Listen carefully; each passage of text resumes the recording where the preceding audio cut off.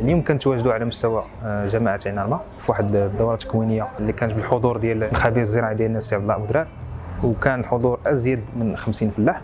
الدورة هذه كان الموضوع ديالها حول الزرع المباشر. اللي تكلم فيها الخبير الزراعي ديالنا حول المزايا ديال الزرع المباشر. الممارسات السليمة في عملية الحصاد الدورة الزراعية والأهمية ديالها في هذا النظام هذا.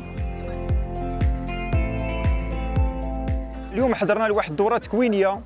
اللي دايرها المثمر التابع لجامعه محمد السادس متعددة التخصصات. الدورة التكوينية الأهمية ديالها ديال الزراعه الحافظة ديال الزرع المباشر والريكلاج ديال آلات الحصاد. الحمد لله كان حاضر عبد الله أبو درار اللي هو أستاذ في في المدرسة الفلاحية ديال مكناس اللي عطى الشروحات للفلاحة الأهمية ديال الزرع المباشر والمحافظة على التعرية ديال التربة والزيادة ديال المادة العضوية. وما يمكنش ننجحوا هذا الزرع المباشر كما قال الأستاذ أبو درار الا إلا خصها تكون واحد واحد الدورة زراعية وواحد 30% ديال البقايا.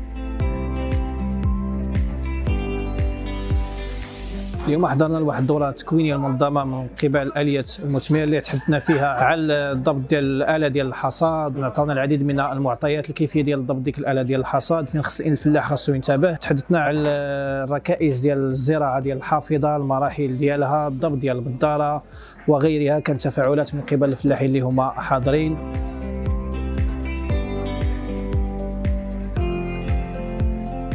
الدورة كانت غنية بالمداخلات ديال الفلاحه وكذلك طرحوا العديد من الأسئلة. وفي الأخير قمنا بالعرض ديال النتائج ديال المنصات التطبيقية آه، للزرع المباشر اللي قمنا بها على مستوى الإقليم واللي بينا فيها الفلاحة لا من ناحية الإنتاجية ديال الحب ولا الإنتاجية الكلية واللي كانت نتائج آه، جد جيدة مقارنة مع الزرع العادي